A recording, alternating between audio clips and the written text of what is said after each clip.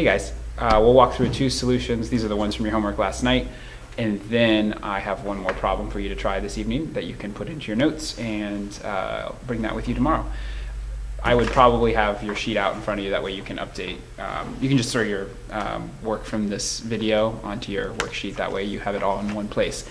Um, the first problem we'll do is the problem one on the front that deals with just one person running a race. And remember, the, the goal here is you have an understanding of how to use multiple methods to get to a solution. Um, when you do that, you empower yourself with many, many options about how you choose to solve a problem. So I've done some setup on this. I think that's consistent with what we did in class. But again, just wanted you to have an opportunity to see it all worked out in complete um, form. So we'll start with the graphical part of this solution. I've set up my graph already to go up by 10, 20, 30 on the time axis and uh, up by 10 to this axis. So 10, 20, 30, 40, 50, 60 um, will be up that vertical axis. I know that because of the information that's given in the problem. This problem says specifically that you can travel 50 meters in 20 seconds. So I'm thinking as I set this up, I need to make sure I give enough space on the, x, of the time axis to get to 20 in the same amount of time that I'm going to get to 50. So that works out um, beautifully on this one in a way that I'm going to be able to represent my graph fully. Um, but now we just plot the points. And you can see by my diagram solution that I've already done a little bit of thinking here to say at time zero, my runner starts at zero meters and after 20 seconds ends at 50 um, meters. And so I marked the halfway point just to have another piece of information on my chart here. But what I'll do is I'll now take these points that I've written in my diagram, incorporate those on the graph, just like this. So there's 0, 0, 20 seconds, and 50 puts us right there. Because I know this is a constant uh, speed problem, then I know that this is going to be a linear function. And so that's my line. And we can now use this to solve the problem. Also have the equation of motion down here of the form x equals v times t plus x naught. Our initial position zero. The velocity here is the slope of this line, so that would be 50 as the rise divided by 20 as the run gives us the speed. That, if you break that down, goes to 2.5. So this equation of motion is x equals 2.5 times t. This allows you to solve the problem because the problem asks, assuming you can keep this up at a constant speed, how long would it take you to run 65 meters? And so two ways to do this. One is to come up on my graph to 65 approximately, follow that over, find that point on the line, and then come straight down to give a value that looks like it's a little bit bigger than 25. We'll see if the number comes out the same on the equation side. So we'll take this up here.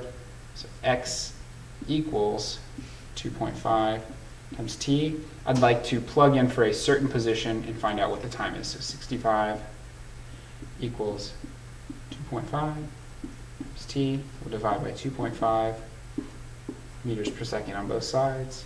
Cancels on this side, and we get t is equal to 65 divided by 2.5.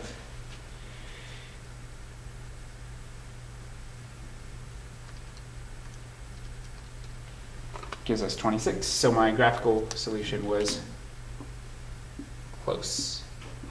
It's 26 seconds to run that distance. Okay, that's problem one. Let's look at problem two. Problem two, we're having now two, uh, two objects that are in a race. Uh, sorry, they're not in a race. They're actually going to meet each other. Um, and these two are definitely moving towards one another based on the way the problem is set up. Um, and they're definitely starting 23 meters away from each other. This is what we talked about today, but just to refresh that, if they're each traveling a distance to meet in the middle, the man goes 9 meters, the dog goes 14 meters. That means they're separated by a distance of 14 meters. And so that's this diagram and what it shows us. And so we see they're both going to move towards one another again, the diagram is really helpful in that it helps you figure out how to plot these points.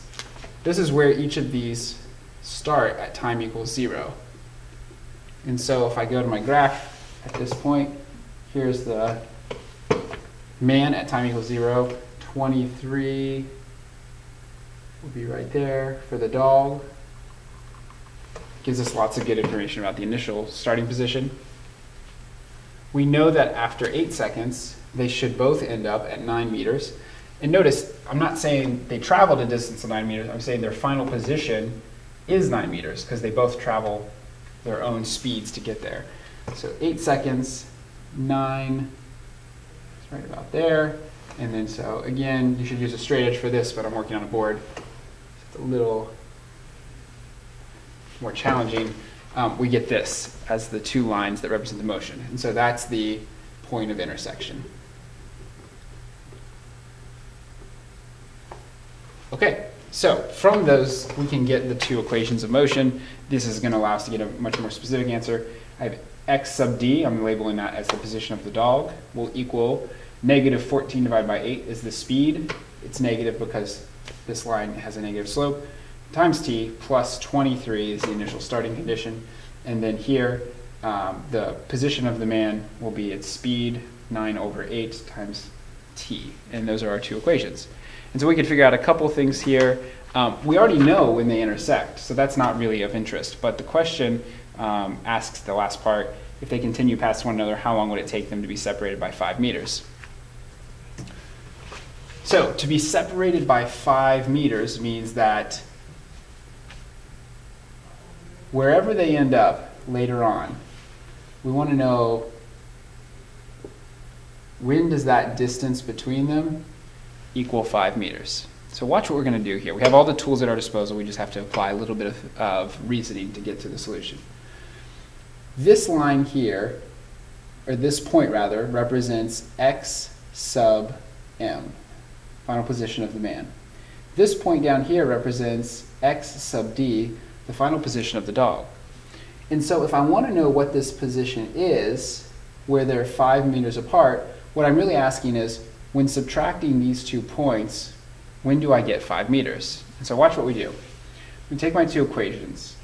I'm going to first write x sub m minus x sub d. That's me saying the difference between these two points, or this space here, I want that to equal 5, so I'm going to come down here and say that should equal 5 meters. Well, what's on the other side? Well, xm minus xd is just taking this equation minus this equation. So let's do that. 9 divided by 8 t minus a minus 14 over 8 t plus 23. Feel free to pause there and check out what I just did. A little bit of algebra to get that together. And what I can do is do some simplification here. So 9 over 8 t Negative times a negative here will be a positive plus 14 over 8t plus 23. And let's simplify further. Um, these both have a single t in them, a common variable, so we can add them together directly. They share a common denominator, so that's just going to be 9 plus 14, which in this case will give us 23 over 8t plus 23, and then 5 stays on the other side, and now we're just solving for t. Um, this again is giving us the point where these two are five meters apart. So if we subtract, um, oh, and I made a mistake. Remember, we're, we're subtracting these two equations, and so this negative sign is actually subtract this entire section of equation, and so we have to di distribute that through. So we'll put a negative sign there and a negative sign there. How did I catch myself? I was thinking ahead to what the solution was going to come out to be. I was going to end up with a negative t, which doesn't make physical sense in this scenario. Negative t would be talking about the position before they both left where they started. All right, now we can solve this. So we're going to add 23 to the other side and get 28 equals 23 over 8t. We can multiply both sides by this reciprocal, and that'll give us, excuse me, sorry, I can't edit that out, 8 over 23 times 28 equals t. And let's run that through a calculator. So I'm going to do 8 times 28 equals 244. I'm going to divide that by 23. Gives us 9.7.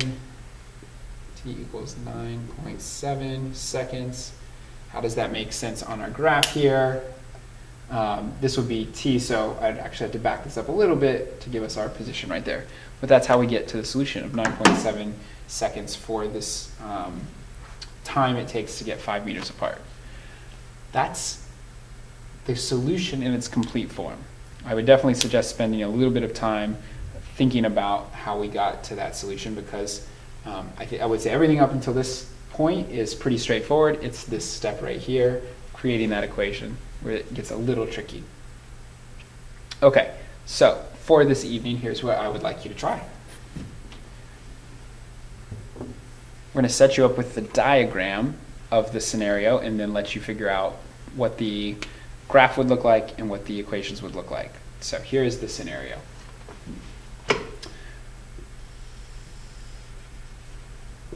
Imagine we have a number line. And imagine at this point we have your car.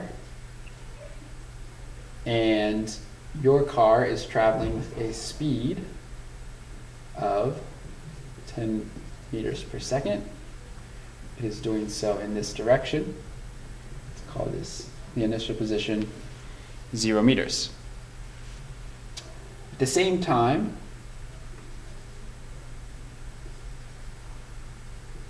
20 meters down the road, a truck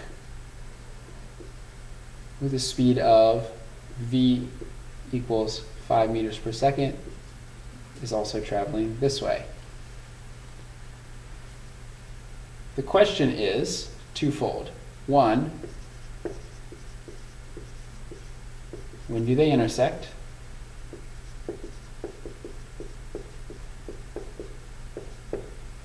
That's question one.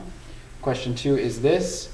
When we get to time, uh, or distance rather, down the road of 30 meters, sorry, 30 meters for the car. So when the car is here at 30 meters, how far away is the truck from the car? That's your question. So start with, you've got the diagram here. You don't need to worry about the diagram. You need to worry about a graph that makes sense, that's going to help you solve it, the equations of motion, and then, of course, a numerical solution. Okay, we'll see you tomorrow.